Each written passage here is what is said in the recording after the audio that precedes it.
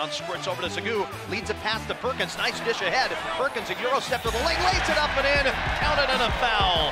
51-40 Buffalo. And Perkins will be headed to the line for an and one. Time for a Bulls digital update. I'm Josh Wetzel with Bob Gahn, and the Bulls on Saturday won again, knocking off Miami 88 64. Didn't look like it was maybe going to be that easy, though, after the Bulls had a difficult time in the first half. Yeah, it was difficult first half. They come alive in the second half, shoot 48% in the second half. Five players in double figures leading the way, again, just like he did in Toledo. It was Jeremy Harris with 17 points leading the way for the Bulls. Now, the Bulls did not shoot well in the first half. The second worst field goal percentage for the Bulls in a half this entire season. Miami was game, a young Miami team. They played pretty hard and, and just seemed like kind of a flat start with a noon tip-off. Yeah, with the Miami's best of one of their best players, Dalonte Brown, just like the Bulls did against Toledo. Jaelan Sanford, they held him to one of 10 shooting.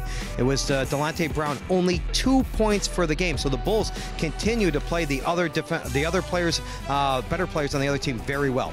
You know, the Bulls got a big boost in the second half from Dontay Caruthers. I thought in a lot of ways Caruthers was maybe the player of the game for the Bulls. Defensively, again, we talk about what a great job they did defensively. It was led by Dontay Caruthers. Couple of key possessions, steals in the second half. He slams one down. He had a great game. The Bulls now 15 and 1 on the season. More importantly, 3 and 0 on MAC play. They've won 19 straight at home. Their next game is going to be on the road, though, at Western Michigan Tuesday. You never know what you're going to get with the Broncos. They are always a, a pretty tough battle, especially in Kalamazoo. Yeah, Steve Hawkins, the dean of MAC coaches, one of the great coaches, always has a good game plan. So the next home game for the Bulls, you got to go to next Friday, another nationally televised game of the Bulls face Eastern Michigan at 7 o'clock. 88-64, UB beats Miami on Saturday.